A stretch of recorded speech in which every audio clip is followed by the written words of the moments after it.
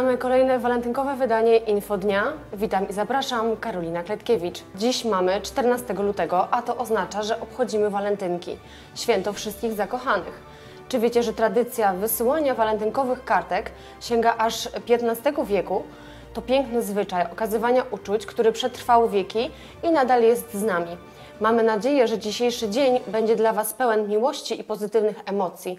Zapraszamy do oglądania naszych wiadomości. W dzisiejszym wydaniu Infodnia Liceum Ogólnokształcące dla Dorosłych, MGOPS staje się Centrum Usług Społecznych, miejsce przysięg i miłosnych wyznań w Solcu Kujawskim, ferie w SCK, walentynkowa oferta w Ośrodku Sportu i Rekreacji, pogoda. Zespół Szkół Ogólnokształcących i Zawodowych w Solcu Kujawskim e, ogłasza otwarcie Liceum Ogólnokształcącego dla Dorosłych, rozpoczynającego swoją działalność z początkiem roku szkolnego 2024-2025. To doskonała szansa dla absolwentów zasadniczych szkół zawodowych oraz branżowych szkół i pierwszego stopnia, aby kontynuować edukację i rozszerzyć swoje kwalifikacje. Zajęcia w nowo otworzonej placówce będą odbywać się w dogodnej formule zaocznej co dwa tygodnie w weekendy, co umożliwi łączenie nauki z obowiązkami zawodowymi e, i osobistymi. Wszyscy zainteresowani mogą uzyskać szczegółowe informacje pod numerem telefonu 508 480 271 lub osobiście w sekretariacie ZSOIZ mieszczącym się przy ulicy 29 listopada 7. W nadchodzących miesiącach mieszkańcy mogą spodziewać się istotnych zmian w zakresie lokalnych usług społecznych. Od 1 kwietnia bieżącego roku Miejsko-Gminny Ośrodek Pomocy Społecznej przejdzie transformację w Centrum Usług Społecznych.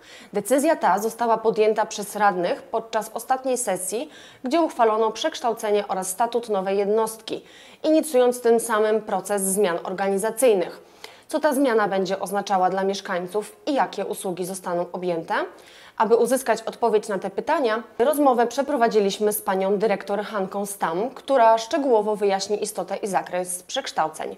Ustawa o realizowaniu usług społecznych z 2019 roku dała możliwość przekształcenia ośrodków pomocy społecznej w centra usług społecznych. Utworzenie Centrum Usług Społecznych nie oznacza likwidacji ośrodka pomocy społecznej, ale przeniesienie jego zadań i zasobów do struktury Centrum Usług Pomocy Społecznej.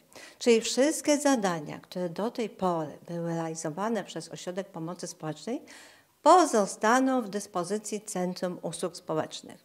Jeżeli chodzi o ustawę o pomocy społecznej, będą, będzie ona realizowana przez pracowników socjalnych w zespole do spraw realizacji zadań z zakresu pomocy społecznej.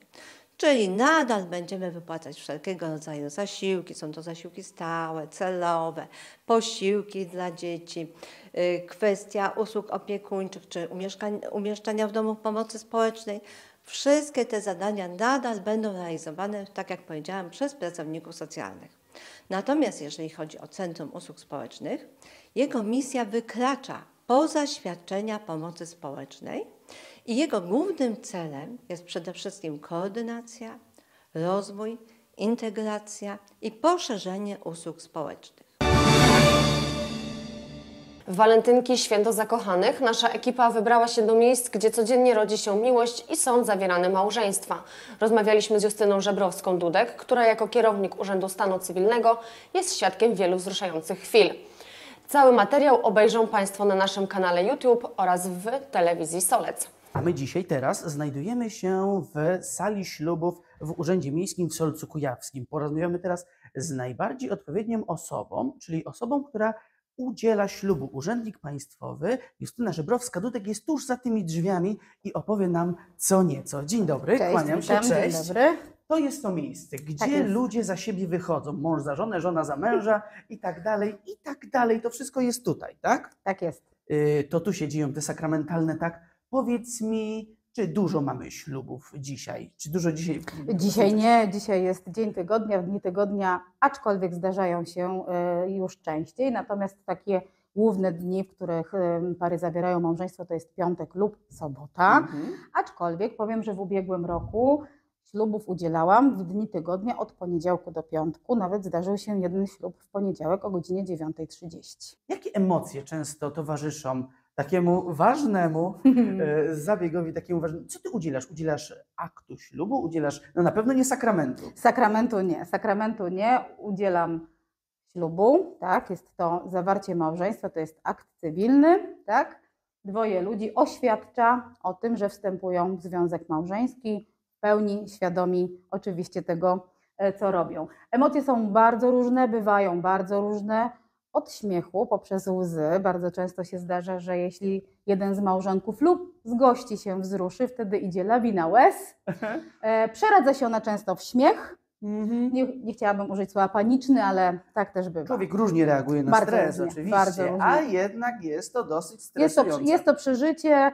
Pary, które przychodzą wcześniej, złożyć zapewnienia, często no, są tacy bardzo dostojni i powiedziałabym, e, nie chcą zdradzić tych emocji wcześniej i mówią, że w zasadzie w ogóle się nie denerwują. Aha, aha. Natomiast e, w dzień ślubu, przekraczając drzwi Urzędu Stanu Cywilnego, widać ten stres na twarzy. Oni już wiedzą, Tak, że często, jest... się, często się objawia, e, ale później te emocje ustępują i w kulminacyjnym momencie czasami też się i rozwijają, więc bywa różnie, bardzo różnie. Bardzo. Rozumiem, rozumiem. A powiedz mi, tym miejscu, czy masz jakąś taką e, ciekawą anegdotę, jakąś taką e, sytuację, która utkwiła Ci w pamięci? Jednak ślubów udzielasz już wiele lat, prawda? Tak, od 2009 roku w zasadzie, więc troszkę ich już udzieliłam. W zasadzie musiałabym taką statystykę zrobić, ile tych ślubów Mhm, przez moje dla ręce przeszło. własnej. Tak.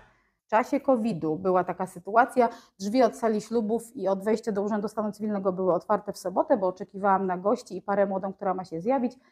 Padło dwoje ludzi, kobieta i mężczyzna, i pan do mnie mówi: Przepraszam, przepraszam, czy ja mogę tak jak w Las Vegas już teraz, zaraz? Mam tu przyszłą żonę, chciałbym zawrzeć małżeństwo. O, to mi się przypomniało, to, to, to było tak. No to właśnie. ciekawe, to w naszych No ale warunkach niestety w naszych warunkach jest to niemożliwe, bo zgodnie z przepisami no, trzeba troszeczkę na ten ślub poczekać. najstarsza para, jaką, jakiej udzielałaś ślubu lub najmłodsza? Pamiętasz takie? Najstarsza to powyżej 70 roku życia. O, e, proszę. W ubiegłym roku, tak, dostąpiłam tego zaszczytu. Państwo stwierdzili, że chcą być razem na dobre i na złe. Mhm. E, Kilkanaście lat już ze sobą byli w związku takim nieformalnym, no i postanowili zawrzeć małżeństwo, co uczynili w ubiegłym roku. Jakaś rada dla młodych, tych, którzy chcą, znaczy niekoniecznie młodych, dla przyszłych Wszystkich. państwa młodych. O, No myślę, że najważniejsze to jest to, co mówią pary, które przeżyły ze sobą ponad 50 lat, bo w ubiegłym tygodniu mieliśmy uroczystość wręczenia medali za długoletnie pożycie małżeńskie. No i wszyscy jubilaci mówią jedno, że najważniejszy jest szacunek do drugiej osoby, bo wiadomo, że miłość, uczucie czasem przemija. to nie czasem jest liniowe. to tak, nieraz jest, pulsuje, tak. Są, nieraz opada. tak, mm, upadki i wzloty. Natomiast kompromis to jest główna recepta na to, żeby żyło się wspólnie dobrze. Wczorajszy dzień w Soleckim Centrum e, Kultury obfitował w wyjątkową atrakcję dla dzieci. Odbył się tam niezwykły pokaz artystyczny, w którym główną rolę odegrały bańki mydlane, zachwycając zarówno dzieci, jak i dorosłych.